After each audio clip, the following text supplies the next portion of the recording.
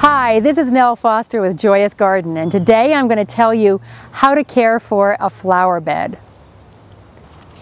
When you're a gardener, you're always thinking to the next season. So for the sake of time, I'm just going to talk about spring and summer in the flower bed because those are the busiest times anyway. And this is a great one to show you on. I'm up in Pacifica, California, just south of San Francisco because most of the pansies are out and the cyclamen, which were the fall and winter color, and into spring. And now we're going to do a big planting on this bed tomorrow, which is going to be all different kinds of impatiens and lobelia. So it's a good one. So what I'm going to do first is if, if I need to do any pruning on the existing perennials, I'll do that. There are some perennials in here I'll do pruning on that. These were cut back in the fall, so I don't have to do too much. If I'm going to divide the perennials, I will divide them now. I'll go in and do a, a little deadheading on the roses here when I can still move around. I'm going to dig all the bulbs out because bulbs don't rebloom here. It's not cold enough. And I will pull the weeds because I want all the weeds gone before I do all my prep.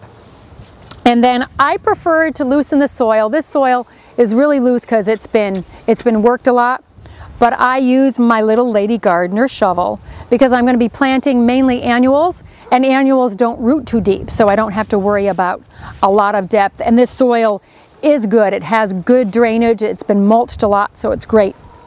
If you have harder soil and you really want to break it up you might want to use a pitchfork.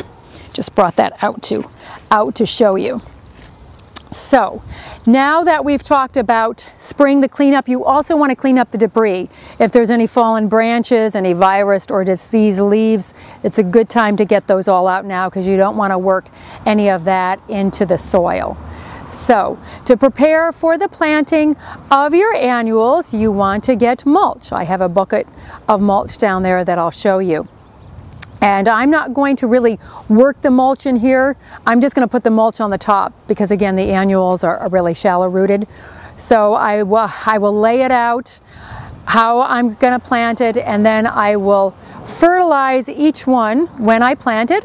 I fertilize with a slow organic fertilizer mix and I only do it once over the season. It's a mix of rose and flower food, alfalfa, and chicken manure. It breaks down slow and it works over the season. Between that and the compost, it's all that they're going to need, but you do need to give them something because they flower a lot. And anything that flowers a lot does like fertilizer.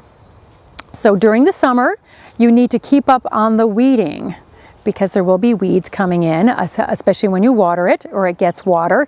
You want to keep up on the deadheading the deadheading and the pruning because that is what is going to give you more bloom. You want to also check for insects. I'm not going to go into all of them because you may never get any of them, so you don't have to worry about it. But the ones that, um, the insects that these get most commonly and in my garden home in Santa Barbara is aphids, and I will just hose, hose them off. And because they're shallow rooted, because annuals are shallow rooted, and that's going to be mainly this bed, you want to also make sure that your bed has regular water. This, as you can see, or you will see, has a drip system. There's tubes running through it, but, but that'll all be all covered up by the plants and the mulch, so you won't even see that. And then in the fall, you just need to do a little cleanup after the summer. You might want to remove those annuals. We remove them anyway because the winter color comes in, but your garden may be going to sleep in, in the winter and you just want to do a little cleanup then. So flower beds are some work, but it's that color and that blooming that we love in the garden. So I think it's well worth all the work. And again, I, I mulch every season, keep up on the weeding and keep up on the deadheading. This is Nell Foster, and I've just told you how to care for a flower bed.